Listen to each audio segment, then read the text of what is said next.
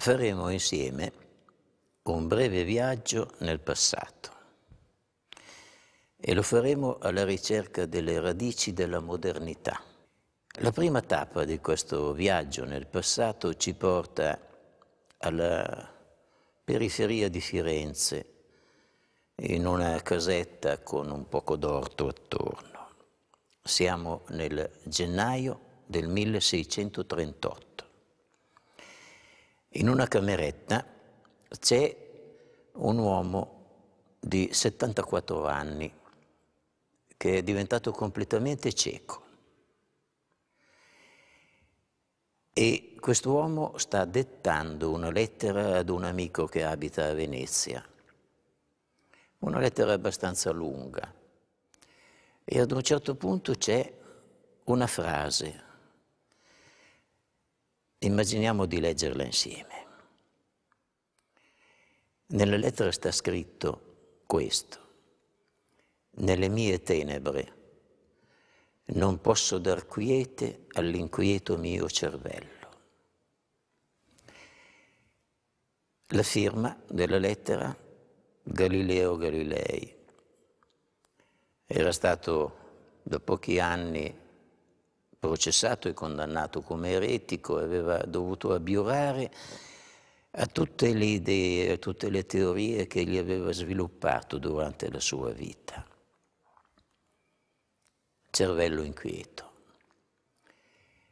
Ecco, il nostro viaggio adesso fa un'altra tappa verso il passato,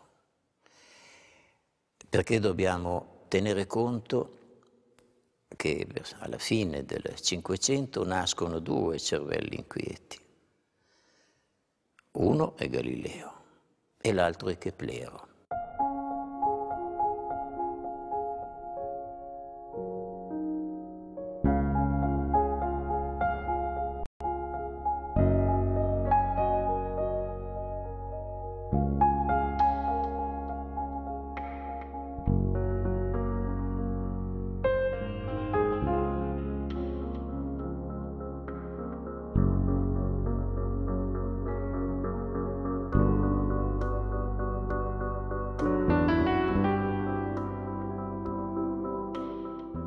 Galilei, insieme a Giovanni Keplero, è considerato uno dei fondatori della rivoluzione scientifica del XVII secolo. Nato a Pisa nel 1564, Galileo ricevette la prima formazione culturale presso i monaci di Vallombrosa. All'età di 16 anni si iscrisse alla facoltà di medicina dell'Università di Pisa, ma il maturare di nuovi interessi per la filosofia e la matematica lo spinse a dedicarsi a queste discipline. Otto anni dopo ottiene la cattedra di matematica all'Università di Pisa, che mantiene per vent'anni fino al 1592. È in questo periodo che si interessa al movimento dei corpi in caduta.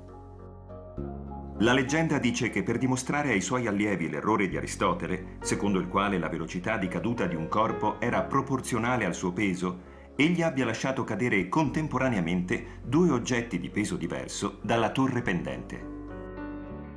Nel 1609, mentre Keplero pubblica la sua Nuova Astronomia, che contiene le prime due leggi del moto planetario, Galileo comincia ad interessarsi ad un nuovo strumento costruito in Olanda, il cannocchiale. Negli anni successivi lo scienziato confuta la teoria tolemaica ritenuta vera nel mondo scientifico e religioso dell'epoca, in cui i pianeti ruotano attorno alla Terra, e conferma invece la teoria copernicana, in cui i pianeti ruotano attorno al Sole. L'Inquisizione bolla come eretica questa teoria e proibisce formalmente a Galileo di appoggiarla. Il testo De Revolutionibus Orbium Celestium di Copernico viene messo all'indice.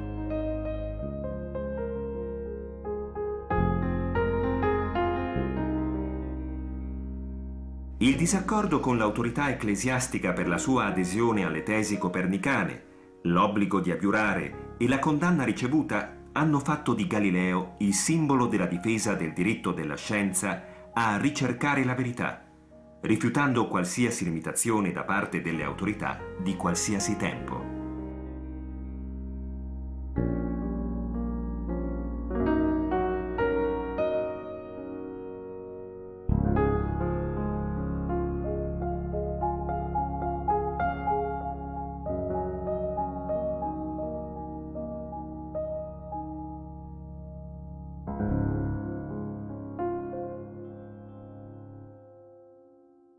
Galileo nasce nei pressi di Pisa nel 1564 e la famiglia lo iscrive alla facoltà di medicina, dovrà curare i corpi. Pochi anni dopo, nel 71, alla periferia di Stoccarda nasce l'altro grande cervello inquieto, Keplero che viene inviato in seminario. Dovrà diventare un pastore luterano e dovrà curare le anime. Due persone tra loro completamente diverse, come vedremo nel nostro viaggio. Galileo è un giovane irruente, un pessimo modello di studente, non frequenta le lezioni, abbandona la facoltà di medicina dopo due o tre anni e comincia a studiare come autodidatta la geometria degli antichi, Euclide, Archimede. Keplero nel suo seminario comincia ad imparare teologia e poi viene trasferito in un altro seminario a Tubinga, dove accanto ai problemi classici della metafisica e della teologia del suo tempo, Keplero incontra un grande maestro, Maestlin, che lo introduce ai problemi dell'astronomia e della fisica. Negli stessi anni il giovane eh, Galileo incontra di nuovo anche lui la fisica e l'astronomia ma con un maestro diverso. Si chiamava Buonamici ed era un aristotelico colto, intelligente raffinato ed era l'unico corso, quello del Buonamici, a medicina che Galileo aveva seguito. Prima andava prevalentemente nelle osterie e nei vari luoghi di piacere a divertirsi. Incontra quindi con eh, Buonamici la fisica, incontra Aristotele, e Galileo conosce l'opera di Aristotele e incontra Copernico. Quindi i due cervelli inquieti confluiscono su un grande libro, il libro di Copernico.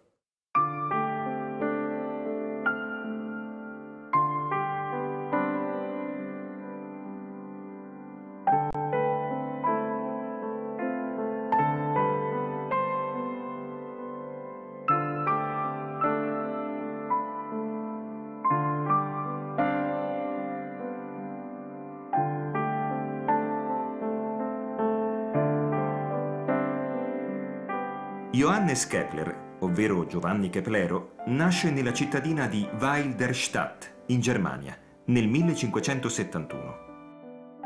Data la sua debole costituzione fisica, Keplero è costretto a lasciare il lavoro per gli studi teologici e umanistici presso il seminario di Tubinga.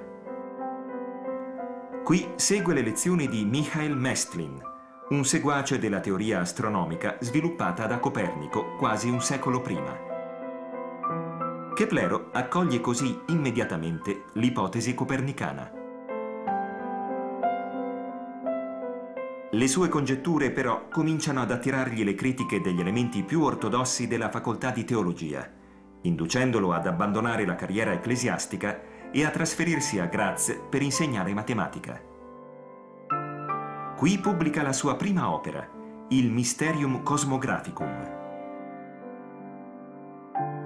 nel 1600, grazie all'interessamento dell'astronomo danese Tycho Brahe, Keplero si trasferisce a Praga e diventa suo assistente. L'anno successivo Brahe muore lasciandogli la carica di matematico imperiale e astronomo di corte dell'imperatore Rodolfo II. Eredita così una mole di osservazioni planetarie e procede nell'elaborazione delle sue teorie astronomiche. Pochi anni dopo, infatti, nel trattato Astronomia Nova, enuncia le prime due leggi sul moto planetario. Nei primi decenni del Seicento lo colpiscono molte sventure, compreso l'arresto della madre accusata di stregoneria. Keplero prosegue tuttavia le sue ricerche, pubblica la terza delle sue famose leggi e si dedica alla stesura del primo manuale di astronomia basato sulla teoria copernicana.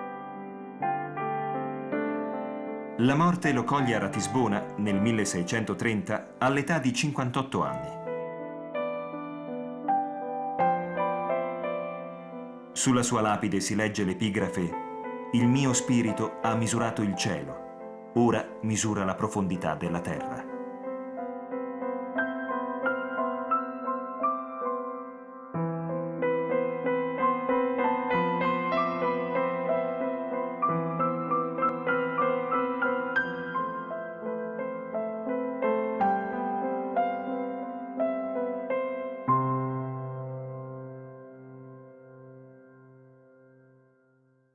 Il libro di Copernico, il grande trattato sul De Revolutionibus Orbium Celestium, era stato pubblicato nel 1543. Né Galileo né Keplero erano ancora nati. E qui va fatta una piccola parentesi sul libro di Copernico. In questa parentesi dobbiamo ricostruire un poco qual era l'atteggiamento dei filosofi e degli scienziati attorno alla metà del Cinquecento. C'era la cosiddetta astronomia matematica, che era fiorente. L'astronomia matematica doveva, come si scriveva allora, salvare i fenomeni, cioè introdurre dei modelli geometrici dell'ordine dei pianeti e delle stelle per poter fare previsioni. Accanto agli astronomi matematici c'erano quelli che allora chiamavano naturales, che erano più portati alla filosofia e alla cosmologia. Mentre i matematici dovevano salvare i fenomeni, i naturales volevano descrivere la realtà. Avevano dei punti in comune. I corpi celesti sono corpi quasi divini, perfetti, immutabili, e si muovono percorrendo circonferenze perfette, sempre con la stessa velocità. E questo però sollevava un problema per entrambi, il moto dei pianeti. Se infatti vi capitasse, aveste voglia di seguire per esempio il moto di Marte, seguendolo notte per notte, lungo le settimane e i mesi, non vedete affatto un'orbita circolare sul fondo delle stelle fisse. Vedete un'orbita fatta più o meno così. C'è un moto retrogrado, il pianeta torna indietro, poi ricomincia a muoversi, poi ritorna indietro, poi ricomincia a muoversi e la velocità cambia da notte a notte. Come risolvere questo problema? Copernico lo risolve cercando di fondere insieme la pulsione originale degli astronomi matematici, salvare i fenomeni, e dall'altra parte descrivere il mondo così com'è, la realtà. L'idea fondamentale di Copernico è questa, la matematica conosce la realtà, conosce l'universo. Naturalmente ha il problema di come descrivere il moto dei pianeti, che non sono circonferenze perfette. E allora che cosa introduce? Introduce un insieme di cerchi. Mm? E questo insieme di cerchi è una cosa che egli eredita già dal passato, non è che li ha inventati lui. Immaginate allora che questo sia un pianeta. Questo pianeta percorre una piccola circonferenza con velocità costante. Il centro di questa circonferenza si muove su un'altra circonferenza Queste circonferenze si chiamavano epicicli. Il centro di questa seconda circonferenza a sua volta si muove lungo un cerchio di maggiori dimensioni. Se combiniamo insieme tutti questi movimenti, viene fuori proprio l'orbita strana che i pianeti percorrono in cielo, quella che si vede ad occhio nudo.